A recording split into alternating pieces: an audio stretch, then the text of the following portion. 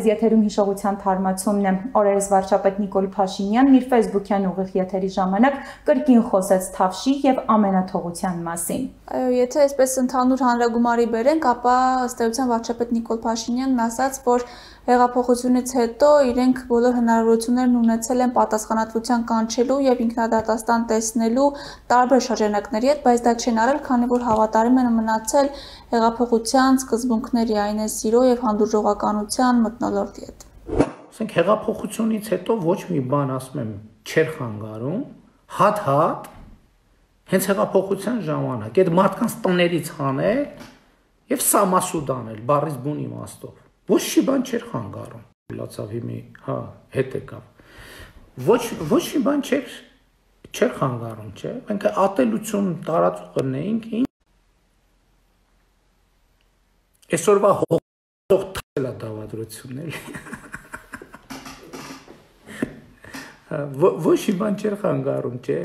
կամ այսօր էլ չի խանգարում իմիջալոց այսօրվա հողորտացող թափթփուկներին բանի ենթարկել սամասուդի ենթարկել։ Այսօր կթարմացնենք հիշողությունը եւ կներկայացնենք իշխանության ներկայացուցիչների ելույթներից եւ հայտարարություններից հատվածներ, որտեղ նրանք խոսում են բռնության մասին եւ այդպես ցույց կտանք, թե ինչ էին ասում նրանք այն ժամանակ եւ հիմա թեմայի հետ կապված ինչ են անում։ Այդ ելույթները շատ դեպքերում իրարից շատ տարբեր էին եւ խիստ հակասական։ Եթե հիշենք, ամենասկզբում վարչապետի պաշտոնը ստացնելուց հետո Նիկոլ Փաշինյանը շատ պես վստահ կերպով հայտարարում էր, որ Հայաստանում, ինչպես եւ կոռուպցիան, այնպես էլ բռնությունը պետք է արմատախիլ արվի եւ կապ չունի թե տվյալ անձը ինչ քաղաքական, այսպես հայացքներ ունի, բռնությունը բոլոր դեպքերում անընդունելի է, սակայն հետո արդեն տեղի ունեցավ դիրքորոշումի եւ մոտեցումների փոփոխություն։ Մենք բռնությանը դեմ ենք։ Հայաստանի Հանրապետությունում ներհայաստանյան հարցերում բռնություն չի լինելու այլևս երբեք։ Ես դա ձեզ երաշխավորում եմ։ Ով որ կփորձի այս կանոնը խախտել, գիտեք ինչ կլինի նրա հետ Հայաստանի Հանրապետության օրենքի ողջ խստությամբ կպատժվի, ողջ խստությամբ։ Նիկոլ Փաշինյանի այս խաղասիրական հայտարարությունները կարծես թե շատ կարճ տևեցին, որովհետև հետո մենք արդեն ականատես էինք լինում հրաապարական ելույթների, որտեղ նրա խոսքը ավելի ագրեսիվ էր։ Որոշ դեպքերում նաև դրանք սպառնալիքներ էին հիշեցնում։ Ես այստեղ նաև ցանկանում եմ հիշեցնել Երևանի քաղաքապետի ընտրությունների քարոզարշավի ժամանակ Նիկոլ Փաշինյանի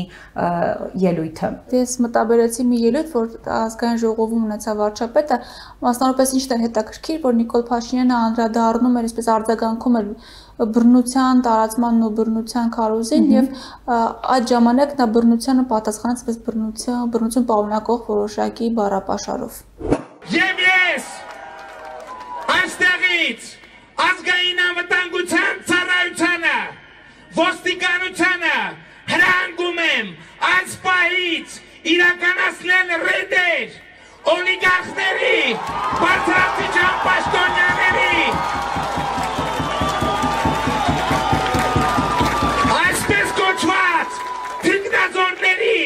պարկեցնել ասվալտներին և ծինաթապել բոլորին։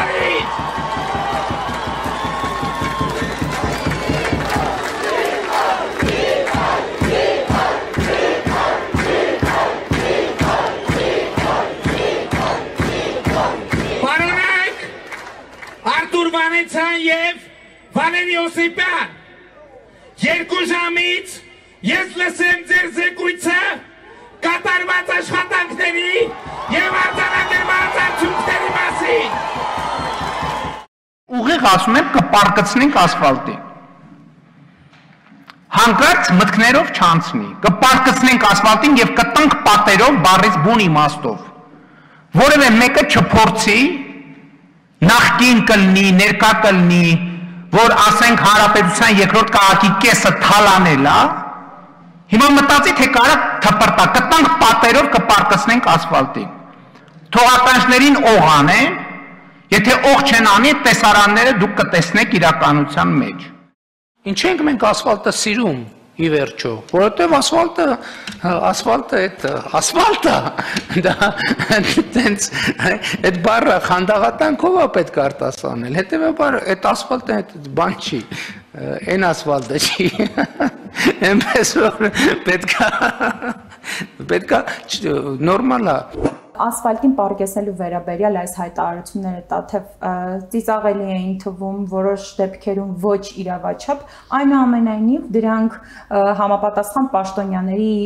կողմից ի կատարածվեցին այո եւ հատկապես մենք հետո տարբեր հարթակներում ականատես եղանք տարբեր տեսանյութերի երբ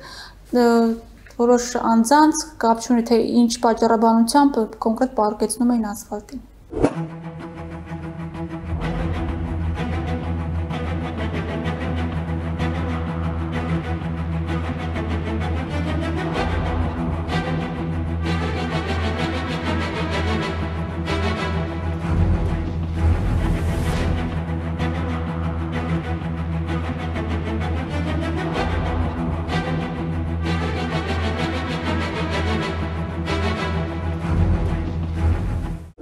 Եվ եթե սկզբնական շրջանում այդ ատելության քարոզը, ատելության խոսքի տարածումը միայն համացանցում էր, հետո արդեն այն համացանցից դուրս եկավ եւ տեղափոխվեց իրական կյանք։ Եվ հենց այդ ժամանակ էր, որ շատ սկսեցին խոսել այն մասին, որ սրա ամբողջ այսպես պատասխանատվությունն ընկնում է իշխանության վրա, որովհետեւ հակառակ կոչեր, թեկուս այդ բռնությունը սաստող կամ ատելության քարոզը դատապարտող կոչեր մենք այդպես էլ չլսեցինք։ Իշխանության շատ ներկայացուցիչներ սա մտածածին էին համարում, շարունակելով պնդել, որ այնուամենայնիվ երկրում դեռ շարունակում է այսպես թևածել սիրո եւ հանդուրժողականության մթնոլորտը։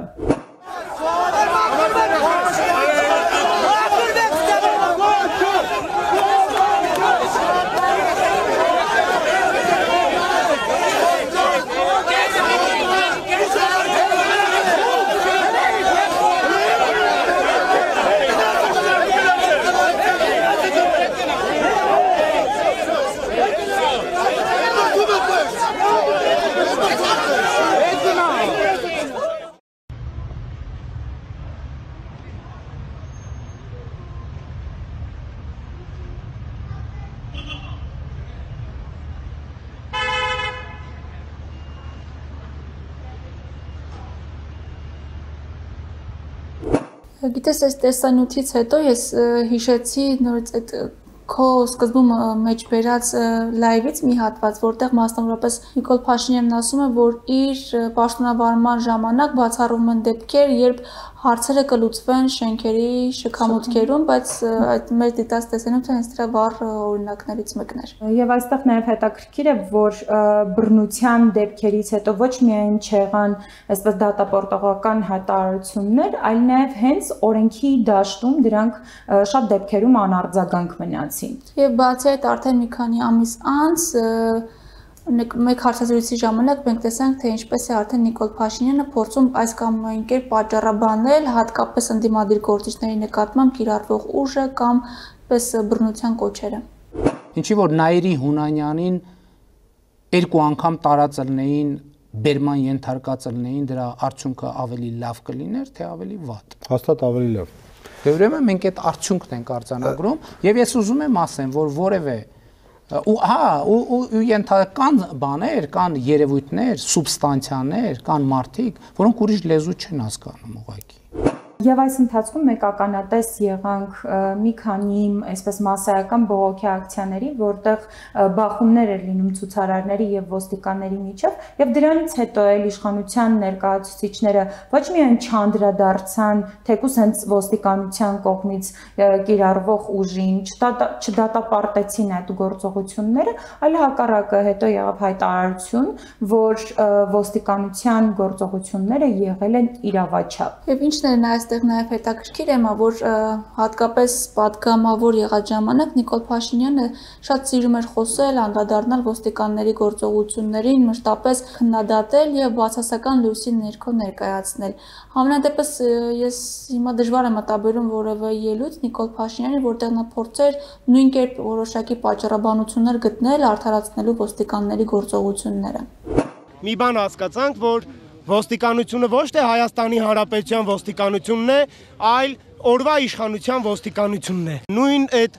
անհարգալից վերաբերմունքը քաղաքացիների հանդեպ, նույն վիրավորանքները, նույն խեղտելը եւ մնացած այդ բոլոր բռնությունները, որոնք կիրառվում էին նախկինում, հիմա էլ են կիրառվում։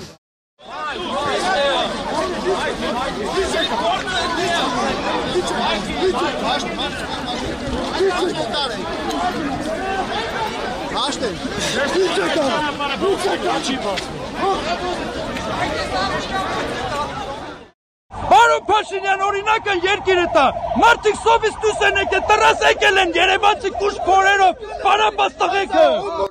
Իդեպ ոստիկանության հետ կապված ստաթև իշխանության ներկայացուցիչների կարծիքը ոստիկանության վերաբերյալ եւս ժամանակի ընթացքում փոփոխվեցին, որովհետեւ եթե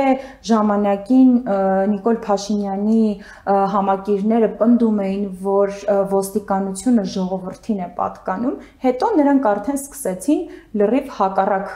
կարծիքն արտահայտել ոստիկանությունը միշտ էլ օրվա իշխանության ծառայողն է, ժողովրդի ծառայողն է եւ եթե ժողովուրդը տվել է մեծամասնության քվեն տվել է, ժողովրդի մեծամասնությունը քվեն տվել է մեր իշխանությանը, այսինքն ծառայելով իշխանությանը ծառայում են ժողովրդին ժամանակն ավետությունը իր ուժը ցույց տա, ոստիկանությունը իր ուժը ցույց տա եւ Տիկին Սամսոնյան ձեր մտահոգությունները փարատեմ պետությունը այնքան հզոր է այս պահին, որ թող երկրորդ անգամ եմ ասում, թող որևէ մեկը համարցակվի անկարգություններով մեզ սպառնալ։ Մենք ունենք ներքին զորքեր, մենք ունենք քրեակատարողական համակարգում արտակարգ իրավիճակ հայտարարելու հնարավորություն եւ իրավական հիմք, եւ թող մեկը փորձի իր բախտը եւ փորձի պետության հետ սպառնալիքի լեզվով խոսալ։ Մասսայական միջոցառումներից եւ ցույցերից խոսեցինք, մտաբերեցի նաեւ ՀՅԴ երիտասարդների բողոքի ակցիաները, որտեղ մասնավորապես նրանք պահանջում էին նախարար Արայիկ Հարությունյանի հրաժարականը եւ այդ ակցիաներից մեկի ժամանակ, երբ նրանք փակել էին փողոցը, շատ իսկապես բախում եղավ ոստիկանների հետ եւ ոստիկանների կողմից ուժ կիրառվեց, նաեւ եղան բերման ենթարկվածներ, եթե հիշում ես։ Այո, մինչդեռ կառավարության առաջին նիստերից մեկում էր, եթե ճիշտ եմ հիշում, Նիկոլ Փաշինյան այսպես իր մտահոգությունը հայտնեց եւ հանձնարարեց, որ զբաղվեն իշխանապողությանը մասնակցած երիտասարդներին բռնության ենթարկած անձանցով։ Ես նաև այսպեսի մի տարօրինակ տեղեկատվության հանդիպեցի, դուք տեղյակ եք, որ քաղաքական շարժման process-ում ուսանողների վրա հարցակում էր տեղի ունեցել Հերացի փողոցում եւ այդ հարցակման տեսարանը համացանցում լայնորեն տարածված է եւ հիմա պարզվում է որ գործը գործ է հարուցվել կամ չի հարուցվել եւ վերջ կարճվել է արդյունքում Ես կարծում եմ, որ մենք այս գործելակերպին ընդհանրապես պետքա վերջ տանք, երբ որ ինչ որ ինչ որ չգիտեմ, արտոնյալ մարդկանց հանդիպելով մենք ի սկզբանե ելնում ենք այն կանխավարկածից, որ քրեական գործերը պետքա կարճվեն։ Մենք խոսում ենք օրինականության հաստատման մասին, պարոն Օսիպյան, եւ ես իրապահ մյուս մարմինների ներկայացուցիչներին եմ դիմում եւ մենք մարդիկ պետքա հստակ տեսնեն, որ մենք գնում ենք այդ ճանապարհով։ Գիտես, քանի որ խոսում ենք նաև ոստիկանների գործողությունների մասին եւ նրանց նաև տրվող գնահատականների, հարկ է նաև արձանագրել, որ իրավական յուրաքանչյուր երկրի համար ոստիկանությունը շատ կարևոր ինստիտուտ է, քանի որ այն կոչված է կանխելու հանցագործություններն ու բռնության տարածումը նաև Եվ այս առումով ցավոք նորից ականատես ենք լինում երբես երկակի ստանդարտների կիրառման, երբ ընդդիմադիր եղած ժամանակ այսպես գործիչները մասնավորապես տվյալ դեպքում Նիկոլ Փաշինյանը այլ լույսի ներքո են փորձում ներկայացնել ոստիկանների գործողությունները եւ խեղաթյուրել ինչ որ առումով նրանց աշխատանքը, իսկ արդեն իշխանության գալուց հետո հակառակը փորձում են արդարացնել։ Թեև Փաշինյանն իշխանության շատ ներկայացուցիչներ դեռ պնդում են, որ այնուամենայնիվ երկրում այսպես թևածում է սիրո եւ հանդուրժողականության մթնոլորտը եւ կարծես թե անտեսում են բոլոր այն հետևանքները, որոնք կարող են առաջանալ այս ատելության խոսքի տարածումից եւ քարոզից, վիճակագրական թվերը լրիվ այլ պատկերն են ցույց տալիս։ Օրինակ, գրանցված հանցագործությունները այդ թվում եւ բռնության դեպք դեպքերը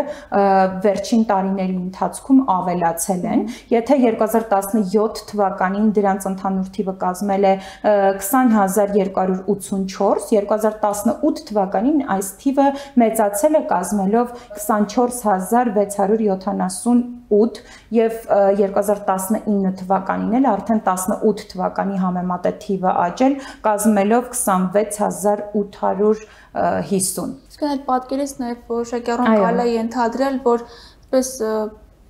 ոչ adekvat, ոչ համապատասխան արձագանքը բռնության եւ ատելության քարոզին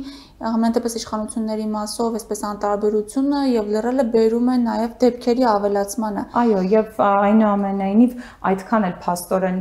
հանդուրժողականություն չկա ինչի մասին, որ իշխանության ներկայացուցիչները այդքան շատ սիրում են խոսել բայց այստեղ նաև պետք է փաստենք, որ շատ հաճախ իշխանության ներկայացուցիչները իրենք իրենց կոչերով, հրապարակային ելույթներով դառնում են այսպես ատելության գեներատոր եւ ինչպես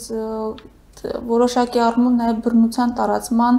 պատճառ են հանդիսանում, որովհետև օրինակ եթե կհիշես, ամիսներ առաջ երբ Նիկոլ Փաշինյանը խոսեց օրինակ հոգեվորականների մասին եւ այսպես միտք հնչեցրեց, որ կլինեն հոգեվորականներ, ովքեր ծնկի կբերվեն, այս հայտարարությունից հետո մենք ականատես եղանք, թե ինչպես տարբեր անձինք որոշակի գրող սկսեցին նաև եկեղեցու նկատմամբ, այսինքն կարևոր է այստեղ նաև ոչ միայն բռնությանը համապատասխան արձագանք տալ եւ ատելության քարոզը